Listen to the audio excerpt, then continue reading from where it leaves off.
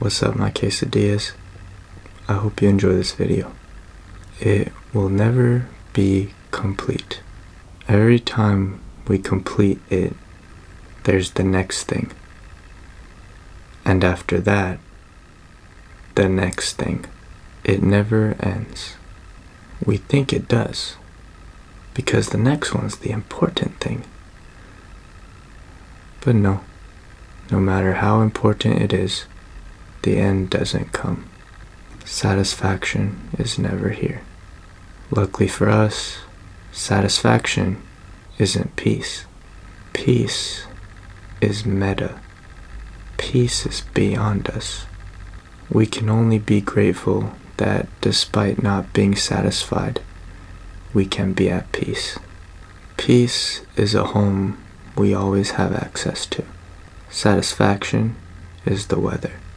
When we get to a point where the rain is as peaceful as the sun, a soul is happy. A happy soul spreads peace like wildfire. A satisfied man is nothing more than the entertainment of flesh. A satisfied man is a complete man, and a complete man is a limited being. A complete man will never experience love, as love is unlimited. Love is the recognition of peace, a joyous delight that always is available. Peace appears identical to satisfaction.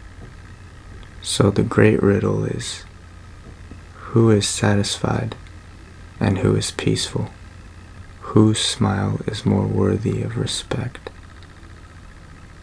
An unworthy smile is our most dangerous tool, as it hurts the user most of all. Let not our smiles of worth decay, as the future of humanity depends on it.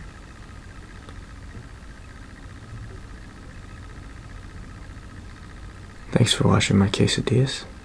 Back in my day, YouTube used to just be independent groups of kids that made original content. Around the same time memes became mainstream, YouTube became more developed, and now people watch entertainment that they feel like they're being educated by rather than the childlike fun that the pioneer creators inspired on this website. I refuse to call myself an educator. I'm an entertainer at heart, but no one can be entertained if they aren't ready. And I think that's what the world needs right now. People ready to be entertained. So as it pleases me to do so, I'll continue serving this good, good entercation.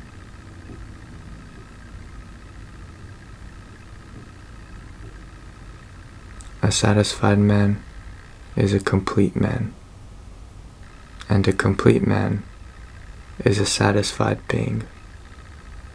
That's not what it what I was trying to say.